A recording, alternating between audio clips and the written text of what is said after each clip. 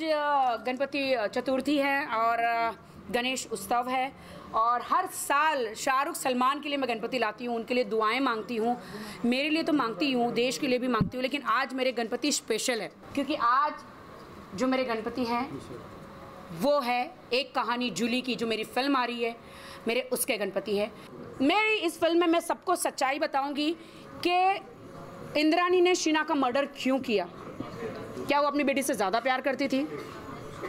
या फिर कहीं उसे शक था कहीं मेरी बेटी मेरी सौतन ना बन जाए? तो ये बहुत बड़ा राज है, मैं अपनी फ़िल्म में खोलूँगी और बहुत सारे सच्चाई मैं दुनिया को बताऊँगी।